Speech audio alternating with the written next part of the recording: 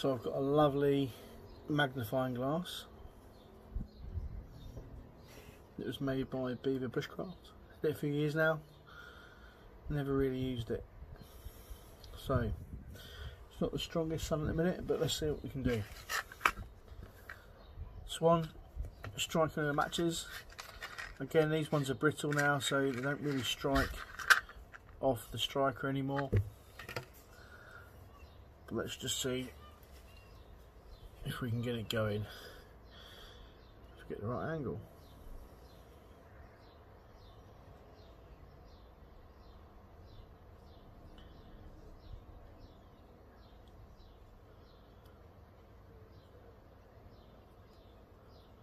Already starting to smoke. Yeah.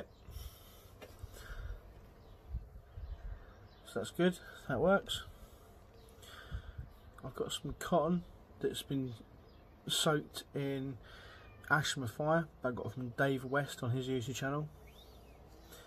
It's like a char cloth without being charred. Let's see if that works. Straight away it's smoking.